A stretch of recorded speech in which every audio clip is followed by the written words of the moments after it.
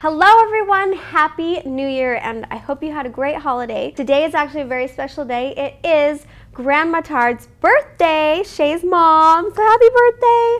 I just have to say that I love you so much and you are an inspiration to me. And you created such a wonderful son who has inspired so many and I just want to tell you thank you and happy birthday. I love you. My question for the day comes from Sapphire Angel 003. Colette, we all know what Shay was doing when he discovered YouTube and began making videos and how it affected him personally. But what were you doing at the time? What did you think of his desire to make videos? Were you hesitant? What was life like for you at home before everything began? And when did you first notice the effects these videos were beginning to have? That is a lot of questions, but I'm going to try to answer them in the best way that I can. In the beginning, it started off with Shay was working two jobs. He had his own granite countertop business and he worked as a radio DJ.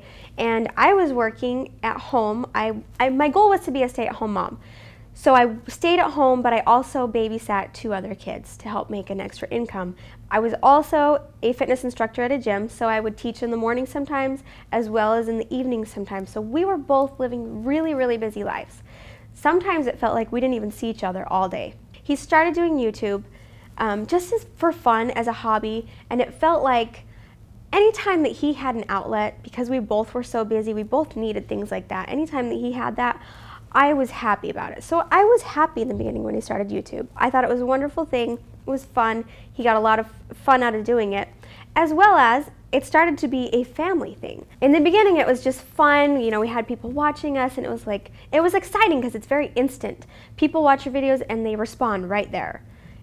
And I was just like, wow, people like us. This is fun. Let's keep doing it. And so we did, and we actually started making a little income at it.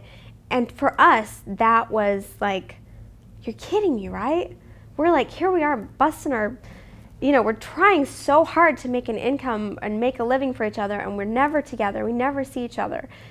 And you seeing our lives and our family I hope is inspiring you more than it's hurting you or hurting them. And I hope that as they grow and get older, they can look at the same things I've seen in the comments and know that, that their lives have been an inspiration to so many people.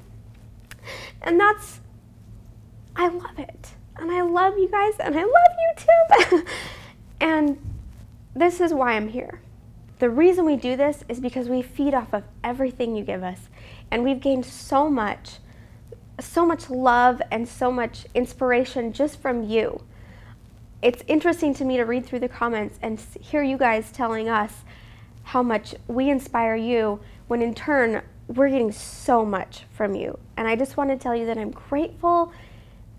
And yes, the answer is yes. I love what we do and we're just going to keep doing it. So this all began by Shay setting a goal for his 29th year.